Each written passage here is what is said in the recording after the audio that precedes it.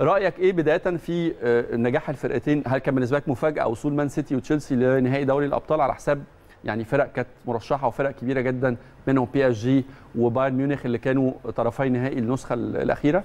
يعني خلينا نفرق آه، في الحالة بين مانشستر سيتي وتشيلسي. يعني كل واحد ليه حالة خاصة. آه، بالنسبة لمانشستر سيتي نقدر نقول إنه كان وصول متوقع.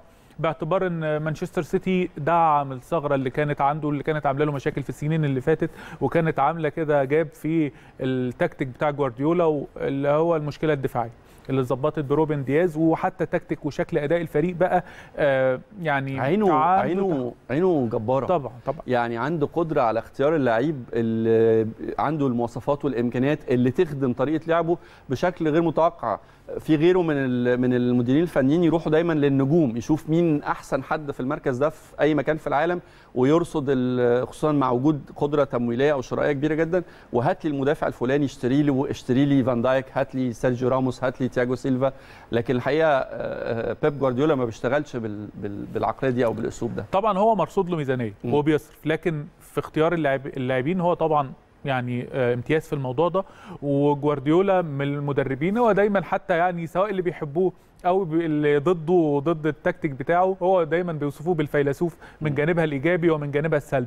فبما إن أنا عن نفسي يعني عندي قناعات كبيرة بجوارديولا فالفلسفة دي مش مجرد كلام بيتقال هو فعلا بيطبقها آه، في التعامل مع المباريات بيطبقها في اختيار اللاعبين بيطبقها في إجراء التبديلات. وخلي بالك آه، هو كان عنده آه، يعني شوية أفكار مجنونة كده خلال المواسم اللي فاتت. يمكن كانت أثرت شوية على آه، آه، مشواره في دوري الأبطال رغم إنه كان مرشح يخرج مثلا قدام ليون أو آه، آه، ما يكملش مشواره برضه خرج من قدام ليفربول قبل كده. فالفكرة إنه السنة دي بالذات التعامل بتاع جوارديولا مع دوري الأبطال تحديدا كان تعامل مختلف تماما.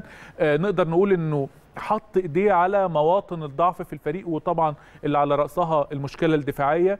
آه، فكرة الضغط طول الوقت وفتح الخطوط طول الوقت ما كانش بيلجأ ليها.